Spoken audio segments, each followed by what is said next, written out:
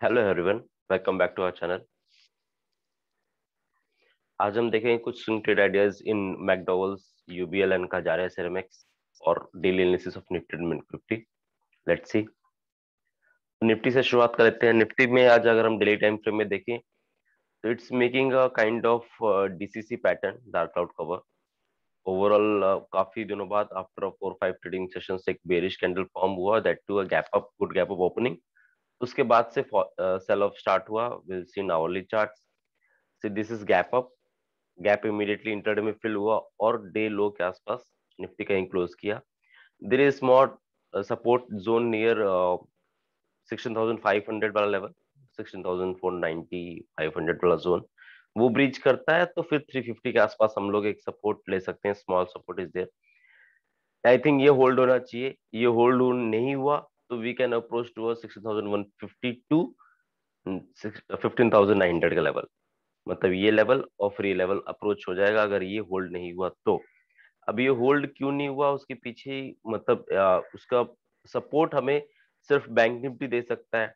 Bank Nifty ने क्या किया कि रेंज को लोअर एंड में ब्रेक कर दिया this was the range overall broader range ऊपर जाते थे सेल ऑफ़ आता था नीचे आते तो बाइंग आता था।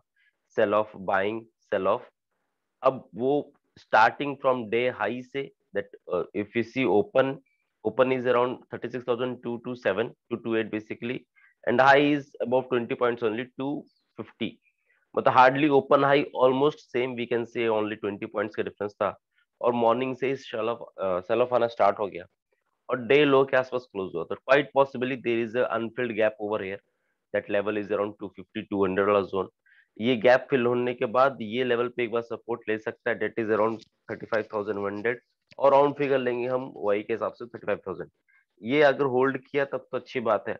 अगर ये होल्ड नहीं किया तो फिर लोअर एंड और पेन आ सकता है बैंक निफ्टी में।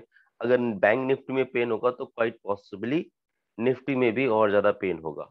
आई एम एक्सपेक्टिंग कि वो गैप फिल करके होल्ड कर जाए। अगर किसी ग्लोबल सेनेरियो किसी भी रीजन से होल्ड नहीं करेगा तो ये लोअर एंड के आने के भी चांसेस जाएँगे। अब हम स्टॉक्स की बात कर लेते हैं। जुबलेंट फ़ूड वर्क हमने कल शेयर किया था। और अच्छा अच्छा खासा गैप अप होने के बाद सिंस मार्केट में ओवरऑल सेल अप था तो इसलिए अपर विक्स इतना दिखाई दे रहा हमें और प्रॉफिट बुकिंग दिखाई दे यहाँ पे। एनीवेज हमारे लिए इम्पोर्टेंट की, की लेवल हो जाएगा थर्टी एट हंड्रेड का। थर्टी एट हंड्रेड के लेवल थर्टी नाइन हंड्रेड के लेवल कोई भी आया था तो it will be add buy on dips type का, क्योंकि अच्छा खासा ब्रेकआउट आया हमारे पास तो we can encash the opportunity और हम डिप्स में एक बार ऐड कर सकते हैं with minus stop loss of hundred one fifty points का। Similarly S R F gap of open मिला। This was the range range breakout close किया। प्रीवियस डे का हाई भी टेकन आउट हुआ इंट्राडे में।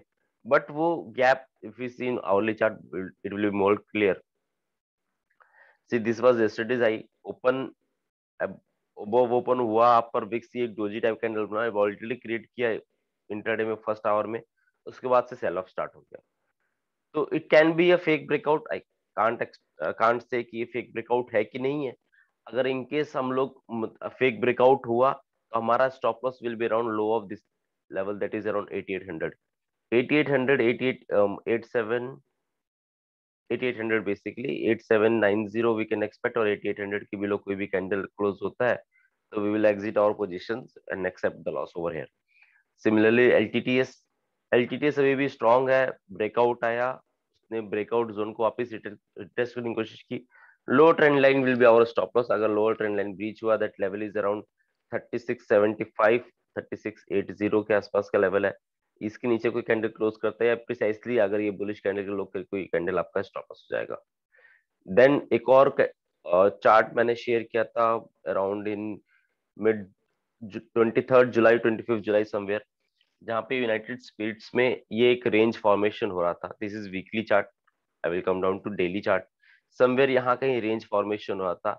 उसके बाद से साइडवेज कॉन्सोलेशन फ़ेज़ में चला गया था पूरा मंथ उसके बाद से बिल्डअप होना स्टार्ट हुआ और कल उसने ब्लास्ट किया और वो ट्रेंड लाइन और वो रेंज को ब्रीच किया। विद हैवी वॉल्यूम्स तो रेंज एक्सपेंशन हुआ है more like more less range expansion हुआ है। This flag length is around 500 to 680 तो almost 180 points 170 to 180 points above 680 अगर if you calculate 170 points तो इट्स रफली कमिंग अराउंड 850 का जोन ठीक है? अगर हम स्मॉलर फ्लैग पैटर्न की बात करें तो otherwise there is also a pattern हमने लास्ट वीडियो में भी डिस्कस किया था you can go and watch there is symmetrical triangle breakout symmetrical triangle breakout आ गया है और our target will be around we say, ultimate target is around somewhere around 1100 के आसपास अगर सिमेट्रिकल ट्रायंगल का ब्रेकआउट आता है मतलब आ तो गया है, अगर सस्टेन करता है, एक लेवल है हमारे पास 740 750 का जोन ये ब्रीच करता है तो क्वाइट पॉसिबल ये टारगेट आ जाएँगे। पहला टारगेट विल बी 800 850 जो फ्लैग पैटर्न का है, उसके ऊपर ये हमारा target eleven hundred eleven fifty के आसपास टारगेट होगा मैकडोल्स का। सिमिलरली सेम सेक्टर की दूसरी कंपनी यूबीएल उसमें भी रेंज एक्सपेंशन आया वॉल्यूम आया जनरेट हुआ है, और इसने ऑलमोस्ट ब्रेक करने की कोशिश की है, हुआ नहीं है। इस कैंडल का high this high is around 1515 तो 1515 1520 के आसपास कोई भी कैंडल निकलता है और थोड़ा सस्टेन करता है आवरली बेसिस पे तो we can expect expect similar kind of last over here also अच्छा खासा रेंज एक्सपेंशन इसमें भी हो जाएगा। मैकडॉल्स अभी अपर एंड पे है। ब्रेकआउट येट टू कम अगर ब्रेकआउट आता है वॉल्यूम्स देख सकते हैं हम लोग आ गए तो ब्रेकआउट आता है सस्टेन करता है वन आवर पे तो we can generate buy over है next stock is Kajaria ceramics see there is also breakout एक upper trend line is lower trend line एक कॉन्ट्रेक्शन रेंज कॉन्ट्रेक्शन हुआ था शार्प uh, एक स्मॉल रेंज में काम कर रहा था। अब यहाँ पे हैवी वॉल्यूम के साथ ब्रेकआउट आया। It's range expansion quite possibly अगर हम देखें तो सौ डेढ़ सौ पॉइंट के अपसाइड मूव आराम से बनते हैं ऊपर। और ये ऑल टाइम हाई पे चल रहा है तो can't expect any nearby resistance over तो just we have to do is this trade till this lower trend line is intact आप कोई भी टिप में बाय कर सकते till this lower trend line is intact on closing basis आप buy on tips कर सकते हो। It may rally to anywhere right hope you like a video thank you very much kindly like, subscribe and share the channel.